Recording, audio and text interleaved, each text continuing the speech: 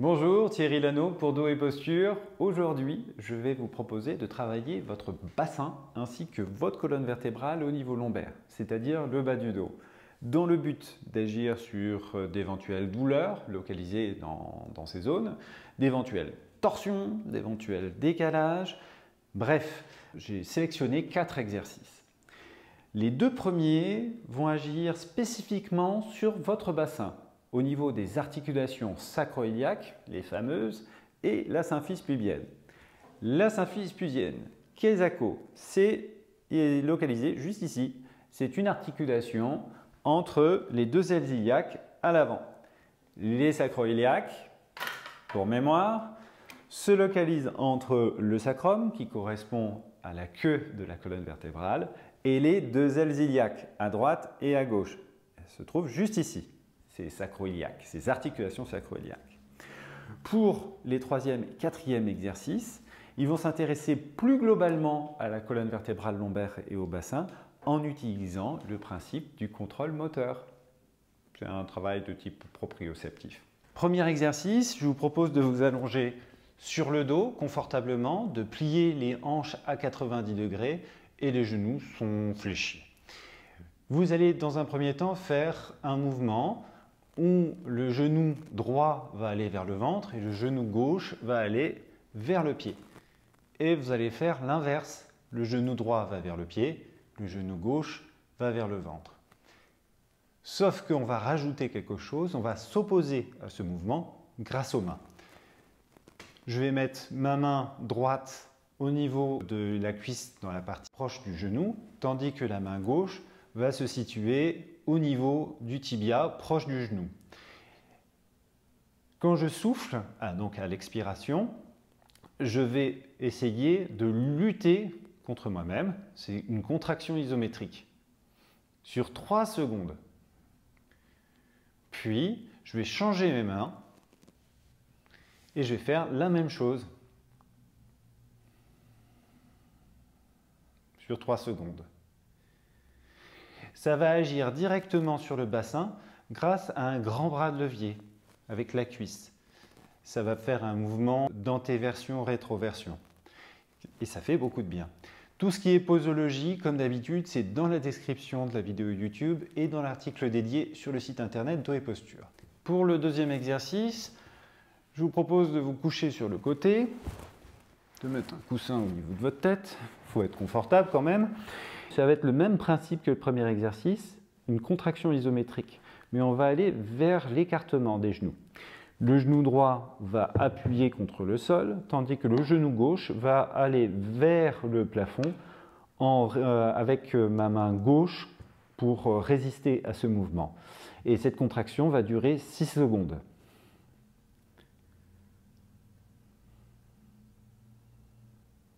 On va refaire ça une deuxième fois.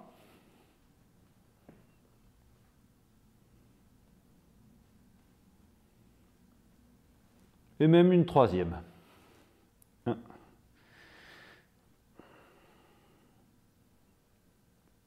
Puis, vous allez vous remettre sur le dos, vous pliez sur les hanches et vous allez mettre votre main fermée en point entre vos genoux.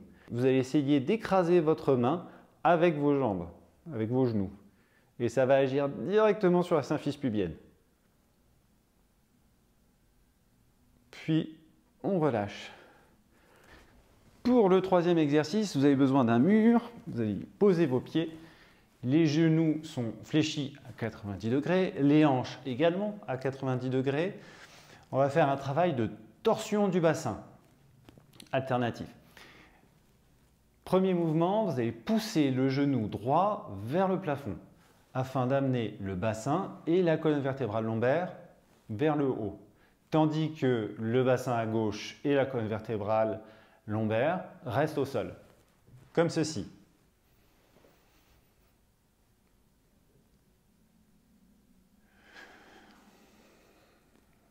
Je recommence. On peut faire ça sur le temps inspiratoire, quand on monte le genou vers le plafond ça aide. Et quand je relâche, expire. Et je fais la même chose de l'autre côté. J'inspire.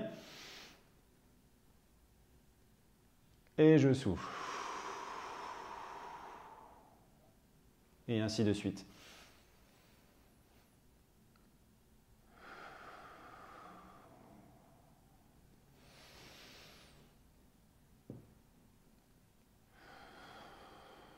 Pour le quatrième exercice, vous allez vous allonger sur le dos comme d'habitude et vous allez plier le genou de telle manière à ce que le talon soit à hauteur du genou qui est en extension. Puis vous pliez l'autre pour que ce soit à la même hauteur. C'est important. Dans un deuxième temps, vous allez soulever les fesses, comme ceci. Puis le mouvement que je vais vous demander de faire, ça va être de plaquer chaque vertèbre, dorsale puis lombaire, au sol, au fur et à mesure. En poussant le bassin toujours vers le plafond, en essayant d'arrondir les dorsales, d'arrondir les lombaires, et en y allant lentement. Ça va vous travailler bien les fessiers, et de manière physiologique. Alors bien entendu, il y a des moments où il y a une vertèbre qui va vouloir passer son tour et dans ces cas-là, il faudra remonter un peu pour essayer de la plaquer au sol, cette vertèbre. L'autre chose que vous pouvez remarquer, c'est que entre la droite et la gauche de la colonne vertébrale, il y a des, des zones qui sont plus creuses que d'autres. Et je vous invite à essayer de plaquer ces zones au sol même au niveau lombaire bas, puis le sacrum. Voilà. Et je peux recommencer. J'enroule.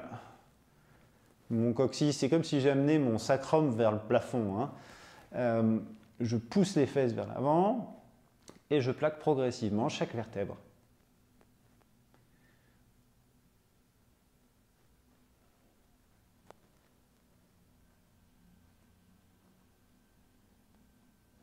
Essayez d'y aller le, plus lentement possible. C'est ça qui rendra l'exercice le plus efficace. Une fois que vous avez fait un certain nombre de répétitions indiquées dans la description de, la vidéo, vous allongez vos jambes et vous constatez la détente de votre dos. Voilà, c'est terminé pour ces exercices. J'espère que ça va vous faire autant de bien qu'à moi. Je vous dis à la prochaine pour euh, une nouvelle vidéo. Ciao